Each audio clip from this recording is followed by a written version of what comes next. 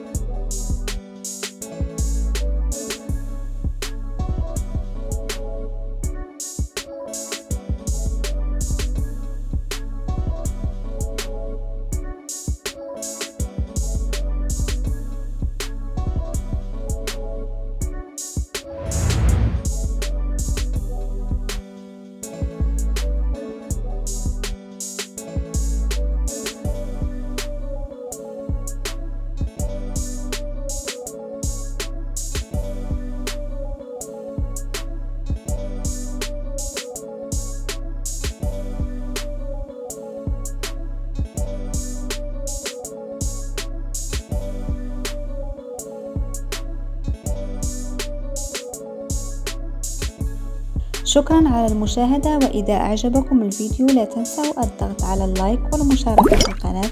للتوصل بالجديد عن أبطال الدراما الصينية والكورية. مع السلامة.